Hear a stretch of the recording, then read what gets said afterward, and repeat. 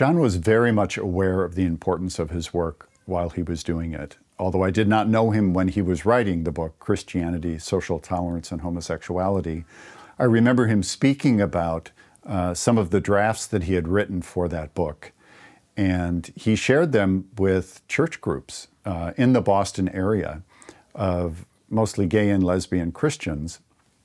as a way to uh, share his research, but also, I think, to give people hope uh, that there was in the historical record uh, other ways in which Christians through the centuries had dealt with queer sexualities uh, outside of the straight and narrow.